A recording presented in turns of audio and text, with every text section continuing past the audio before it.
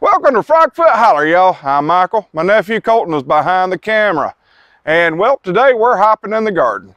So as y'all can see, my peppers are still alive and they got a little drink earlier.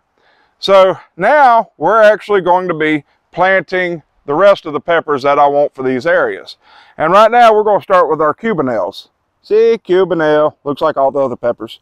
Now all I'm going to do is I'm going to dig me a hole just like this and I'm going to put him down. Dug it a little too deep. Put him down. Now see how the dirt level right here for the uh, little pod or little cell there is at the same level as the dirt here?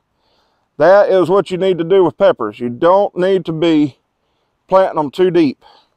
They ain't like tomatoes and can grow more roots. So you just plant it like that, cover it up, pack it down a little bit so that way any air pockets are gone. And again, I make a little ring around mine so that way water can stay in the area close by and it get plenty of drink.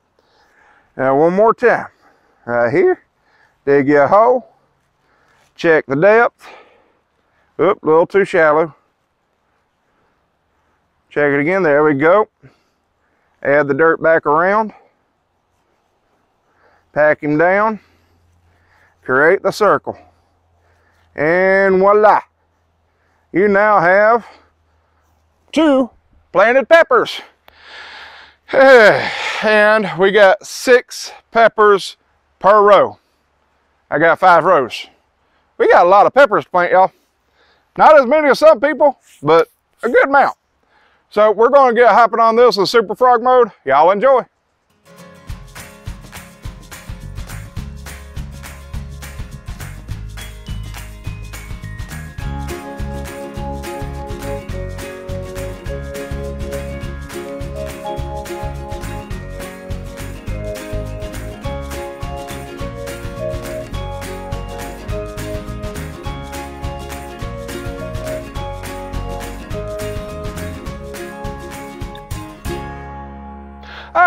So now that we got our peppers planted in the garden, and I'm pretty sure they're gonna survive looking at long range forecasts and stuff like that, I'm not seeing anything that I'm too worried about. So I believe they're gonna survive. And well, I'm taking a risk with them. I might as well take a risk with something else, right? All right, so we have my tomatoes over here that survived that cold snap. And I'm not planting all of them, but I'm planting that middle section there, which are matachis. And well, I believe I can plant them and get away with it. Now, tomatoes are a little bit different when you plant them. You, get, you can actually bury them a lot deeper, so that's a good thing. Get more roots out that way. Now, y'all see these red posts behind me like this right here? This is marking where every tomato plant's going on this row. Now, I'm told y'all this is going to be an extremely heavy year for me planting. So I'm going to be planting on this side of the net and the other side of the net but the other side of the net I'll be planting later on.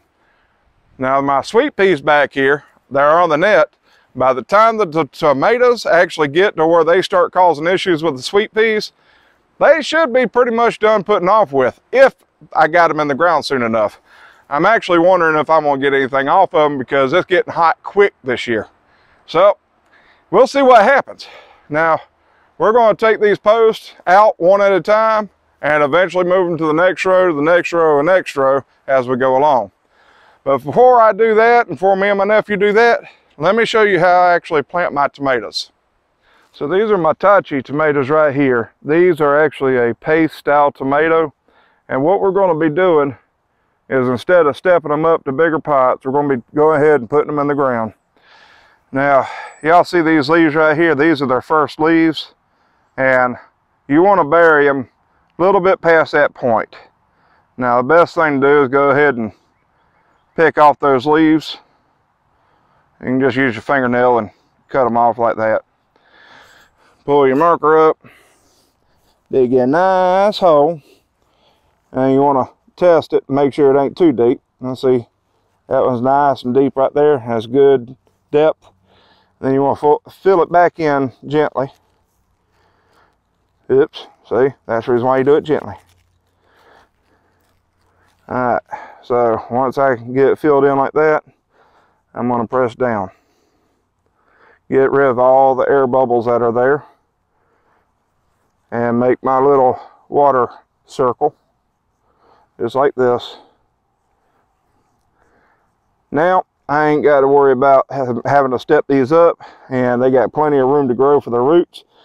Now let's just see if they hold off the weather.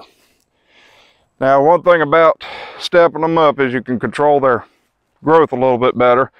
Go ahead and put them in the ground, you're kind of at a loss, but as you can see, bury them as deep as you can without covering up these main leaves here and roots will actually come off all that stem that you put in the ground.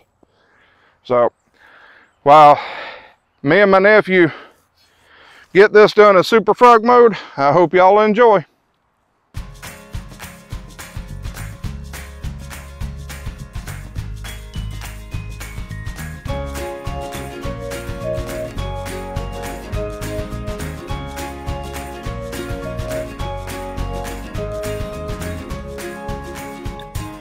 All right, guys. So as y'all might have noticed, we didn't do all the planting. And well, here's something. We got these in the ground, and as my nephew was putting them in the ground, I kept thinking, boy, it's going to be bad if I lose all my tomatoes because I put them in the ground a little too early. And well, I couldn't bring myself to do it, y'all. So I'm going to leave these, this first row, in the ground for three or four days to see how they react. And if these survive, we'll go ahead and plant the rest of them. So these are kind of my test row. And as you can see, I still have the uh, red post up. And the reason being for that is so I don't accidentally think they're a weed and get them out. So that would be bad. Ooh, I'd be so mad at myself. Colton would too, because he doesn't spend all that time putting them in the ground. Either which way, y'all. It's been fun today. Uh, we've gotten quite a bit done. We got a, quite a bit more to go. And I appreciate y'all stopping by and watching.